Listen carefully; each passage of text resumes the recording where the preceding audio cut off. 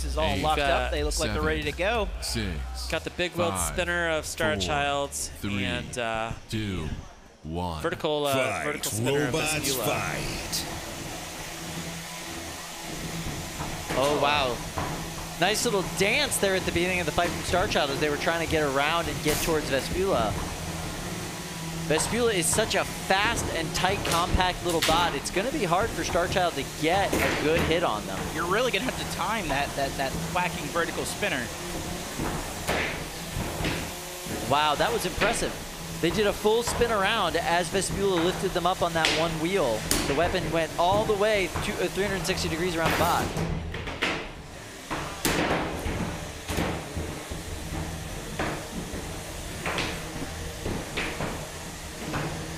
Vespula doing a great job keeping to the side of uh, of Starchild, not oh, I think I see a belt for that on weapon. Star I think you might be right. Yeah, the weapon belt is hanging off there a little bit. Oh no. Brandon said it earlier. If my belt is, or if my weapon's spinning, I've got a great chance of winning. If it's not, it's much harder for me. He's at a point right now where that's looking uh, more and more impossible in this match. Vespula's such a devastating robot. Powerful little weapon on that bot. But the real advantage of that bot is its drivetrain. It's so fast. 90 seconds left in the match.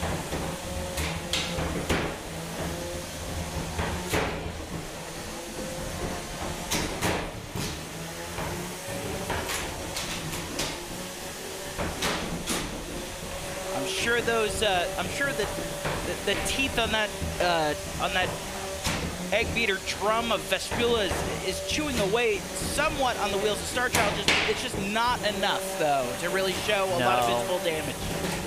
No, that is the big advantage of these big wheeled robots. There's just nothing to hit. Yeah. And then when you do hit, sometimes it just moves out of the way. Yeah, it just bounces away. Just bounces away on you.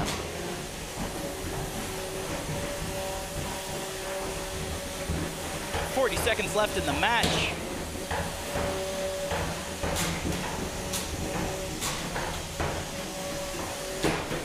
Wow. Nice little pop from Vespula there. And it seems as though they've really got Starchild's number at this point in the match. They know how to get to those sides, pop those wheels up, give Star Child a little bit of air. Right. All right, nine, eight, seven, six, five, four, three, two, one. That's the end of this fight. This one will go to the judges. Brandon showing that his bot is still driving and functional, having a great time. And he's uh, giving a little push, giving a little push over there letting Brett know that that's not really his box.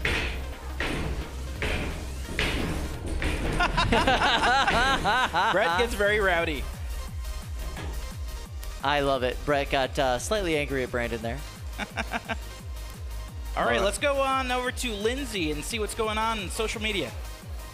All right, so while we wait for that judge, judge's decision, we have a super chat from YouTube uh, user The Boopster, uh, who says, "I just need more Promheda in my life. Heckums, yeah, baby." And I think that we have Promheda lined up with Katie, so let me throw it over to you. We absolutely do. And the reaction when he was seeing and hearing that, priceless. What's it all about?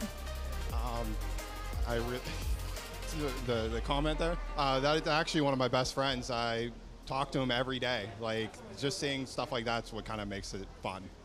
How special is it to know that those kinds of people are out supporting you here today? So I, there's certain people that I just like know that they're my biggest fans, and like I at this point like I do it to put on a show for them. Like I enjoy what I do, but it's more a show for them anymore. So today, then, the show that you've been putting on one round so far, what what is the rest of the day entailing for you?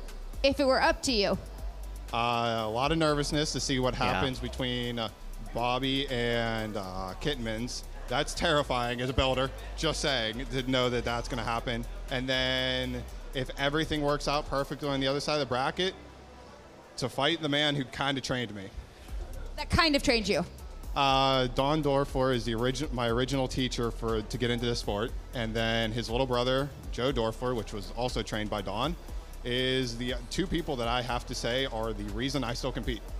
That gave me chills. I Lindsay, earlier it. you were talking about tearing up a little bit when the autographs were happening with the boys in the booth. That gave me a little bit of chills too. I love that. Yeah, I mean, it just shows you this isn't an individual sport. This is a, a, a, a sport for people who have whole teams of people behind them, whether they are people supporting them technically or emotionally or just cheering them on. So it's it's such a nice feeling. But um, so we we have another super chat from Ty Little who says, with the new 30 pound arena, you're gonna need another brick bot.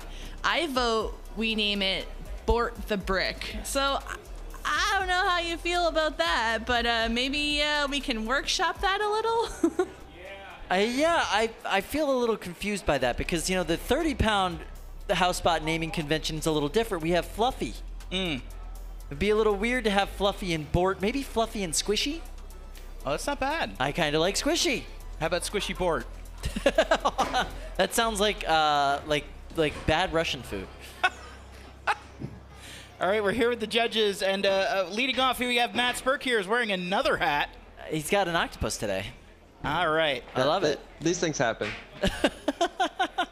Wow, unanimous decision for Vespula. Uh, and Jack, you awarded